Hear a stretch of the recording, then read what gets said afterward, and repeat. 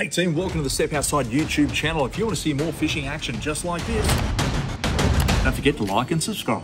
Hey everybody, welcome to Step Outside. Just getting the tackle ready for our next fishing adventure. Here's what's on today's lineup. We head to the world's largest sand island, Fraser Island, and fish the west coast. I'll give you the inside tips on cast netting for live bait. Big bream, is it a reality?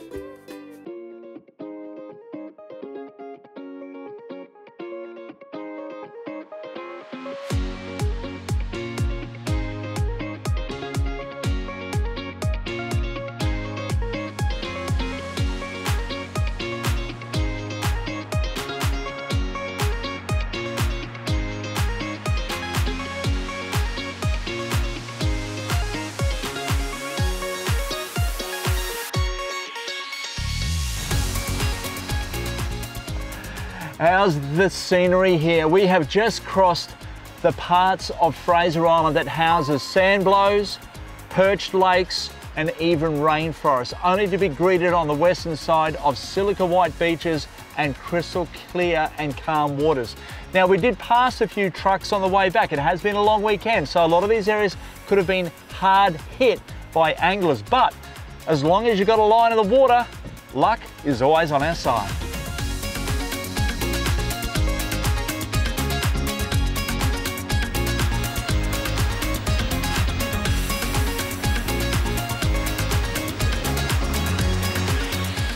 Yeah, this is it. I remember this spot when I was a kid called Raleigh Creek. It was about a kilometre further down the beach. But over the years, it has eventually moved to the uh, south. But nonetheless, it's housing a lot of fish. Through the polarised sunglasses, I can see bait fish. And here on Fraser Island in Queensland, you can use a cast net. So I'm going to use that particular method to catch my bait fish, and then I'm going to soak them along this leading edge. And I have to say, there's got to be something in this water that's just gonna have scales that'll be wanting the bait that I feed out to it. Let's get into the gear and I'll show you what I'm using.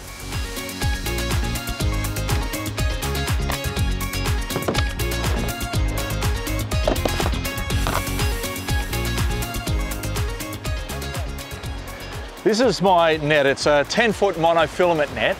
And I think this is gonna be more than enough to get a, a bit of bait. Now I don't wanna go out there and get 100 bait fish. I want to just get enough that's going to be doing the job for me for what I need at hand, and that is just a few. So, all I do, gather it up, nice and easy, grab the closest leads to you, get half in there, up here, grab the closest one to you. Watch this, straight out and over, just like so. I always urge anyone out there who does cast to make sure that if you haven't done it for a while, just do a practice cast straight away. So I've got my net, gathered it up, we're ready to go. And I've got a bucket, let's go and catch some bait. God, this looks good.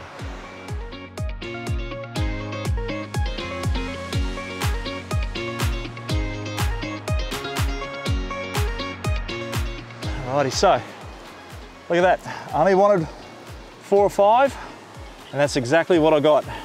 There's a lot of bait out there. There's no need to go and get a lot if you're not going to use it straight away. When I need more, I can come and get more straight away. Beautiful looking baits. Let that dry off. Alrighty, let's have a look at the gear. Now, those who watch the show a lot know that I love using the dual rod, the Shimano dual rod. It's a, a beautiful outfit. I'm using the one to four kilo spin stick. It's a one piece and I've got a 2500 Stradic on here. Okay, Sedona 2500 would be right, and also a Sienna would be okay as well. I'm running a size 2 split shot going down to a 2.0 Mustad chemically sharpened octopus hook. I'm running 12 pound braid with 12 pound fluorocarbon leader. This outfit is nice and light. It's a beautiful stick. And when I bait this particular fish up, which I'll show you when I get closer to the water, I want to get there into the corners. I need to look for the bait. You always hear us talk about bait fish in locations. Find the bait, you find the flathead, find the bait, you find the snapper, find the bait, you'll find the marlin, or even the bass. The list goes on. It's all about bait. I know there's a lot of bait in there. I haven't disturbed it yet. I caught my bait just out the front here. So let's go and uh, hit this spot, hit this corner, and see if we can catch a few fish. It's looking fishy.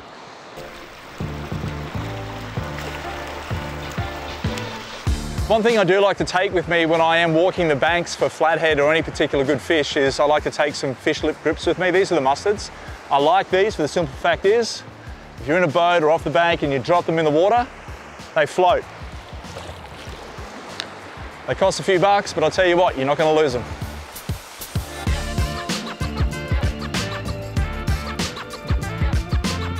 So what I'm looking at here is all of these waters spread out, they sort of push out like a finger.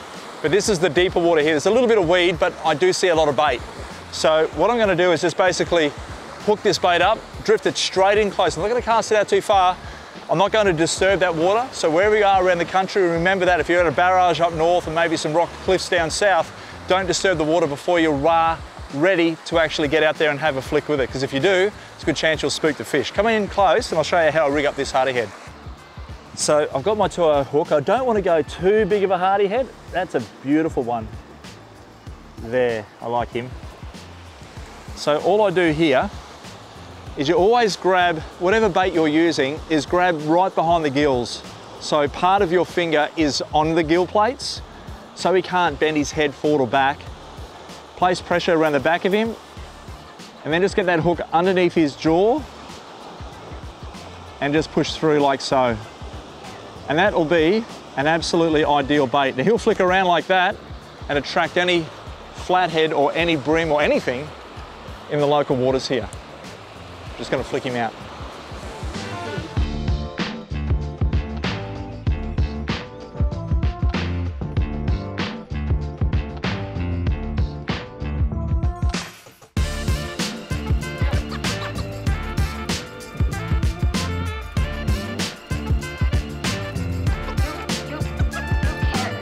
So just slowly winding in allows you not only to cover more ground, but to get your fish or your bait right inside that fish's zone, right into his head where he's sort of waiting here for any small fish to be pushed out.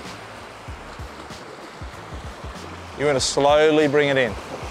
A bait cast is a really good idea here. You've got direct feel, direct line. God, there's a lot of bait out there.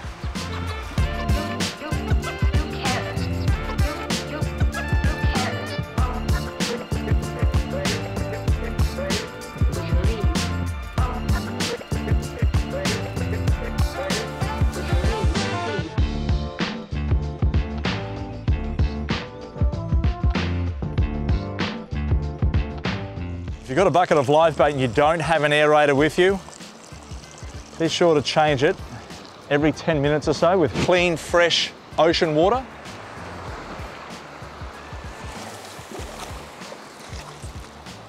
Just keep doing that and your bait will help to stay alive over the next 10 minutes or so.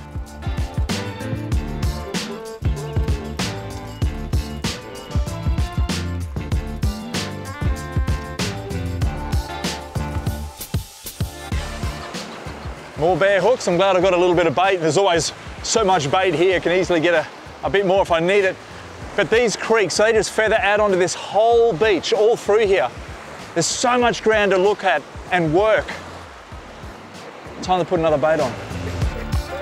With plenty of bait in the bucket and the tide about to turn, it really is endless. From Coongul Creek through to Raleigh, of course, Awinya and Bowarrady. The list goes on, and there's no shortage of places to wet a line.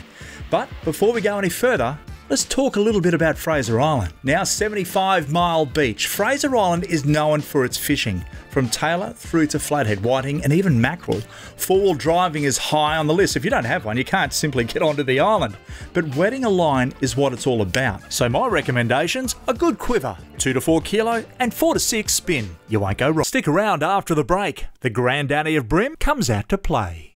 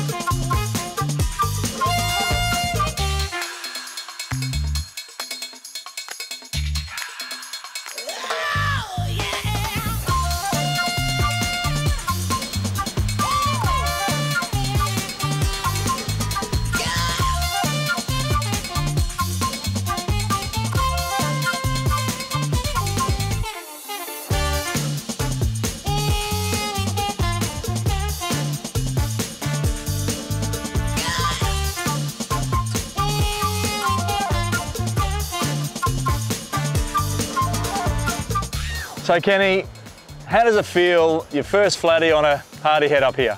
Excellent. Really exciting, Paul. Really great. Cool. First fish on Fraser. Well, there you go, mate. that? Well, we've got a bucket full of bait. You got the right branding shirt on. Really That's good. Yeah, that's He's good. got, Feeling he's good. got, you're, looking, you're looking more like a racing car driver. You got that many sponsors on you, but anyway. Well- you, do you want to keep him? First of the day. No, I let him go. No, not- not at all. It was great catching him. Let's go for another one.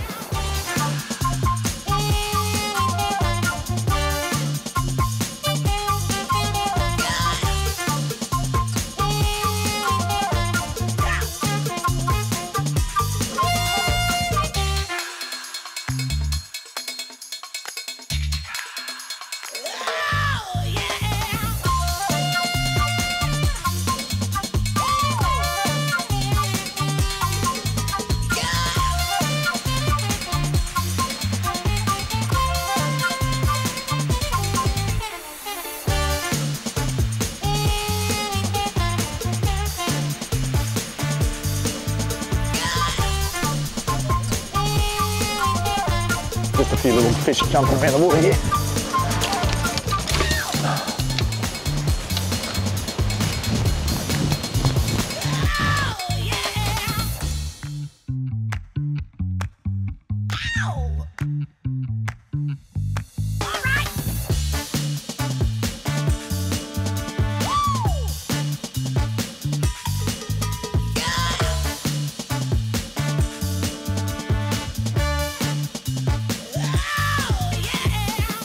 Such a diversity of fish around here from flathead to whiting to little cod.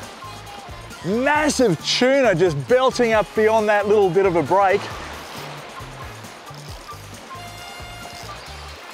To fish like this, monster bream, have a look at that. Have a look at that for a bream. Absolute gorgeous fish, and, and that's a stonker if I must say so myself. That's a cracker of a bream. Oh my goodness. Fishing here, it really does pay off. If you are coming up to Queensland, of course, at the moment, things are pretty tough around the country, I get that. But look, when things reopen, put this on your bucket list and come up here because Serenity and it's quiet and there's hardly anyone around on this side of the island and you just have it all to yourself. It's so pretty and fish like that just nailed that hardy head. And there's so much bait fish here. Again, find the bait, find the fish. It's just a simple old way of fishing and it really has never changed. Your bream has telltale signs of these dorsal fin spines here. You've really got to be careful of these in particular. It'll easily get you. And also down around here, and of course his anal fins, but the gill rakes are pretty sharp. But at the main time, this particular fish here, it's more like a snowy bream. So we get a lot of these in winter and they are really clean. It's not a river bream where they get dirty and dark. This is a real clean ocean bream. All right, buddy, thank you. Go and tell your friends that we really looked after you and tell them to come and bite our baits.